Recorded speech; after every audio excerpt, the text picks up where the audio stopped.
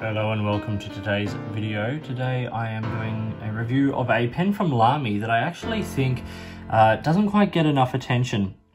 I think it's got some good things going for it. Um, that pen is the Lamy logo fountain pen. It's a pretty simple pen. It's a pretty much on their sort of more affordable end of their scale. Uh, but I think, as I said, it's got some good things going for it. It uses their standard uh, cartridge converter system. It uses their standard uh, nibs, which you can swap out from things like the Safari or the Vista and All-Star, things like that. Uh, you can put a gold nib on here if you wanted to. I'm going to show a writing sample, show a couple of size comparisons, some pros and cons, and then uh, leave you on your merry way. Even before I was deeply, deeply back into fountain pens. One pen I always carried with me was this, which is the Lamy logo ballpoint pen. Now, as far as ballpoint pens go, I really like the body of this pen. Um, it's robust, it's kind of quite available. A lot of sort of office supply stores sell this model. It's simple. It takes a you know an easily accessible and replaceable refill from Lamy, uh, and I just liked the body of the pen. So when I started getting back into fountain pens quite sort of deeply, one of the pens I picked up relatively early on was the fountain pen equivalent. I thought it'd be nice to sort of have the pair of them.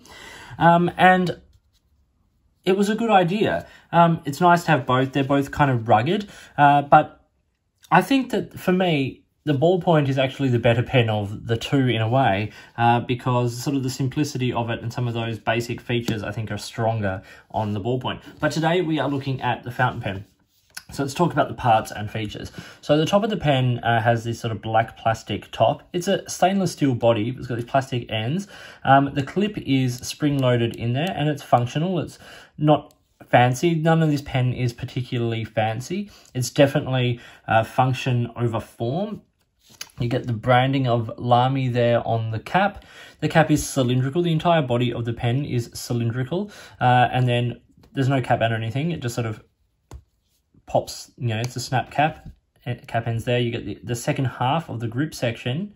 Uh, and then the barrel, and then that plastic end there that you post the pen on, which has a couple of little like um, ears and things on it to help post the pen. The pen is just friction posted on there, and it's relatively secure. Um, but makes it a fairly usable length and there's no major step down. The grip section is this sort of ribbed grip, uh, you know, section, which on a metal pen can be an advantage because it stops the pen being slippery.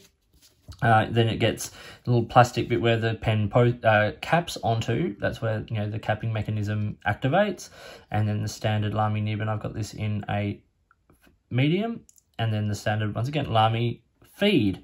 So this is a cartridge converter pen, much the same as uh, the others. I have a black Lamy ink cartridge in there at the moment. It comes with a blue cartridge, not a converter, but you can get the standard, um, you know, Lamy converter that fits in this pen.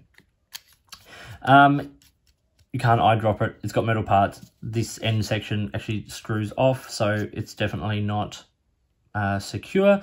Um, but it is a fairly simple, decent functioning, well-constructed pen in the Bauhaus style. Um, and uh, yeah, as I said, a, a, function over form. And uh, I think this actually does a really nice job of that. This is the stainless steel finish, uh, and the pen actually comes in a couple of other finishes. The main ones being sort of like the black uh, anodized finish and the uh, brushed stainless steel. Traditionally, it comes with the medium or a fine nib on it, um, but as it is that traditional normal Lamy nib system, um, you definitely can swap it out for basically anything from an extra fine, fine, medium, broad, 1.1, 1.5, or 1.9 millimeter nib. And as I said, there are also the gold options or the luxe options which will fit on this because they're all interchangeable. Even the nib that comes on the Imporium, which is a you know pen 10 times the price of this guy, uh, actually will fit on this pen. So the nibs be, being interchangeable is a big plus. In terms of price for this pen, in Australia, it retails for like 60 to $70. To put that into context, a Lamy Safari costs 45 to 55 and an All-Star kind of around the 70 to $75 mark, uh, depending on where you go and when you shop. Um, so it's priced between the Safari and the All-Star, and I think it's kind of a decent place for it. It is a metal pen, uh, it has the same nib, all those sorts of things, uh, but uh, it is, I think, quite a simple pen. In the US, it retails for 35 to 40, and in the UK for 20 pounds. So not a super cheap pen, but certainly not on the expensive end, even for Lamy. Let's look at some size comparisons. The two pens I've pulled up today, one is, of course, a Lamy Safari.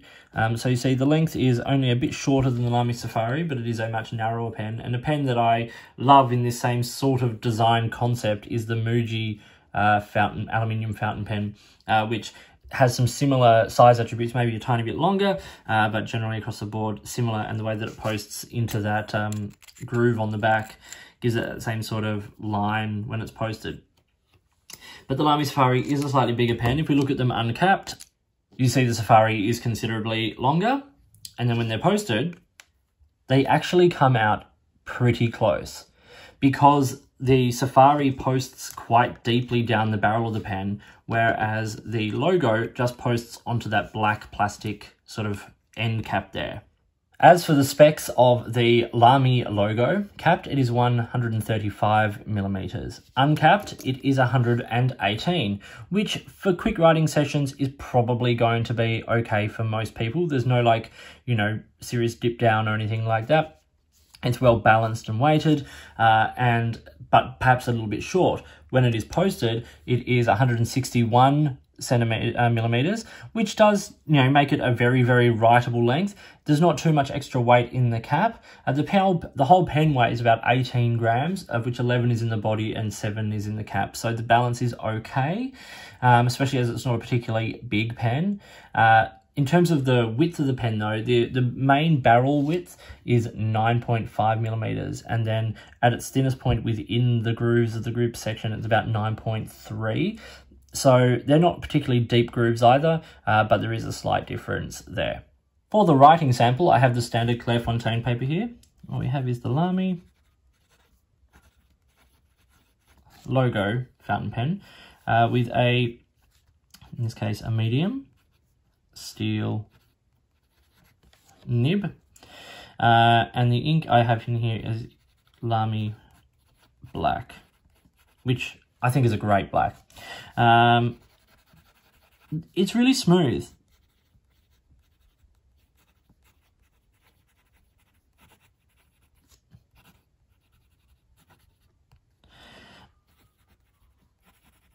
It's not wet. I wouldn't say it's a, a, super wet writer, but it is putting down quite a nice amount of ink. Um, and yeah, it is smooth. There's very little feedback. Lamy nibs while they, I would say that they are relatively consistent, you can sometimes get one that is uh, a bit better than the others. And I actually think this one's pretty good. This one has done a bit of writing over the last couple of years. Um, but I think this nib actually is a pretty good one. They are rigid. There's no flex. Um, upside down writing or reverse writing is possible, um, but scratchy and would dry out. Uh, fast writing,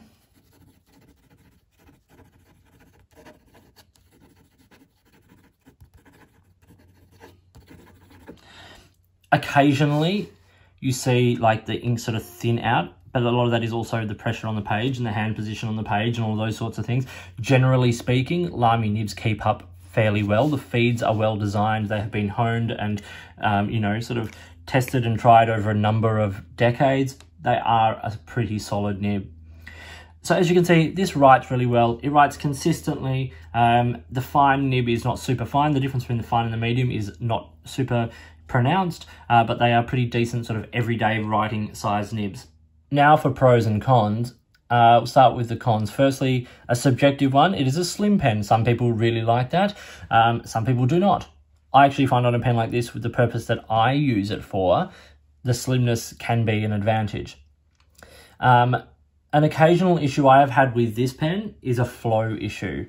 Uh, not just when I'm writing like where I showed that sort of skipping out slightly, but just occasionally it dries out just a little bit. Uh, not a lot, not enough to sort of stop it writing, but you do notice just occasionally, uh, you know, whether it's a airflow distribution thing, I don't know, but occasionally it just dries out a tiny bit. Third uh, con is the Australian pricing, I think, is slightly out of whack with the international pricing. Um, we find that across a broad range of products, not just pens and stationery, but generally speaking.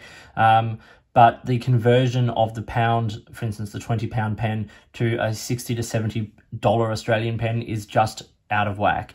Uh, that conversion should make it 40 to 45 dollars, not 60 to 70. Um, so it is a big pricing difference. So if you can get it from overseas, as much as I want to support my Australian retailers, um, it is cheaper from overseas. That's the plain simple truth of it. The last con is another one of these ones that could be a pro or a con, and that is the grip.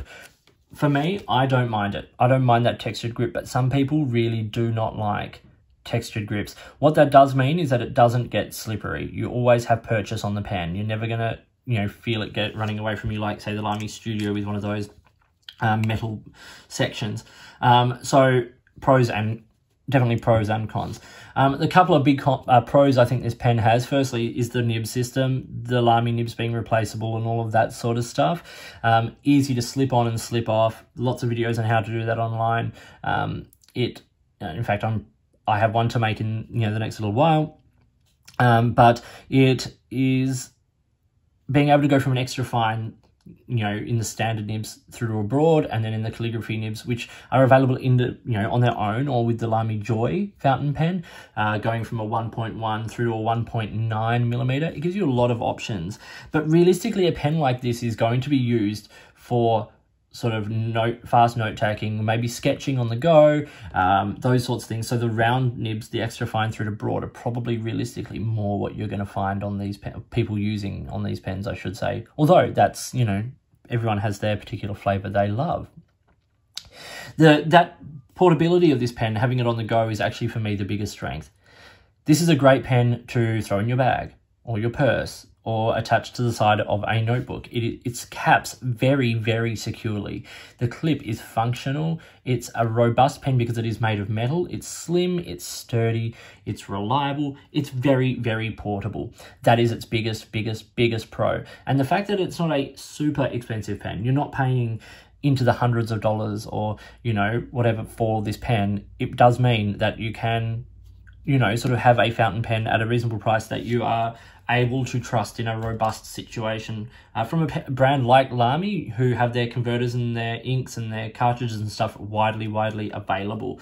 Um, so having something like the pair of the ballpoint pen and the fountain pen uh, is a lovely option to have. Um, both reliable, both sturdy. I hope you found this video about the Lamy logo fountain pen helpful, uh, useful, all that sort of, and interesting. Please give it a thumbs up and like and subscribe and all that sort of stuff thank you for watching and supporting the channel. It's your support that makes these videos possible. If you'd like to get in touch, use any of the platforms listed below, or you can email me, which is also listed down below.